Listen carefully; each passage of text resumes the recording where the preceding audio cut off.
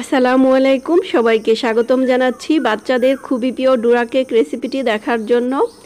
এটা খুব সহজে আপনারাও বাসায় ঝটপট তৈরি করে দিতে পারবেন আর এটা তৈরি করে নেওয়া খুবই সহজ। আশা করব আমার আজকের রেসিপিটি ভালো লাগবে। প্রথমে একটা বাটিতে দিয়ে দিচ্ছি দুটো ডিম। এরপর দিয়ে দিচ্ছি চিনি, ওয়ান ফোর্থ কাপ চিনি, তবে চিনির পরিমাণটা আপনারা বাড়িয়ে কমিয়ে নিতে পারেন। এবার খুব ভালোভাবে নেড়ে মিশিয়ে নিতে হবে। যতক্ষণ না পর্যন্ত চিনিটা গলে যায়, ততক্ষণ পর্যন্ত মিশিয়ে নিতে হবে। এরপর দিয়ে দিব ময়দা, একটা ছাকনি নিয়ে নিলাম, হাফ কাপ ময়দা দিয়ে দিলাম এবং এক টেবিল চামচ বেকিং পাউডার। এবার এটাকে একটু চেলে নিব। এরপর মিশিয়ে নিব।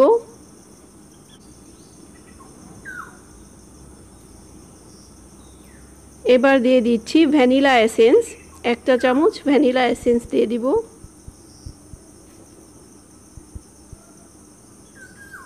আবার একটু মিশিয়ে নিব। এরপর দিয়ে দিচ্ছি এক টেবিল চামচ লিকুইড দুধ। তবে এখানে দুধের পরিবর্তে কেউ চাইলে পানিও দিতে পারেন। এবার খুব ভালোভাবে নেড়ে মিশিয়ে ঢেকে রেখে দিব দশ মিনিটের জন্য। তবে কেউ চাইলে এটা সাথে সাথেও বানিয়ে নিতে পারেন। দেখুন, ব্যাটারের ঘনত্বটা এরকম থাকবে। অনেক বেশি পাতলাও না, আবার অনেক বেশি ঘনও না। এবার বানিয়ে নিব। চুলা একটা ফ্রাই প্যান বসিয়ে দিয়েছি। সামান্য পরিমাণে একটু তেল দিয়ে টিস্যু পেপার দিয়ে মুছে নিব। এরপর ব্যাটারটা দিয়ে চুলার আঁচটা মিডিয়াম লোতে করে অপেক্ষা করব দুই মিনিট। যখন এরকম ছিদ্র ছিদ্র হবে, তখন উল্টিয়ে দিতে হবে। এবার অপর পাশটাও এক মিনিট একটু চেপে চেপে ভেজে নিব। এভাবে করে আমি সবগুলোই বানিয়ে নিব। এখানে হাফ কাপ ময়দায় ছয় পিস হয়েছে, তিনটি ডোরা কেক হবে। ডোরা কেক তৈরি করতে দুই পিস করে লাগবে। তবে আপনারা যদি একটু বেশি বানাতে চান, সেক্ষেত্রে এক কাপ ময়দা দিয়ে তৈরি করবেন।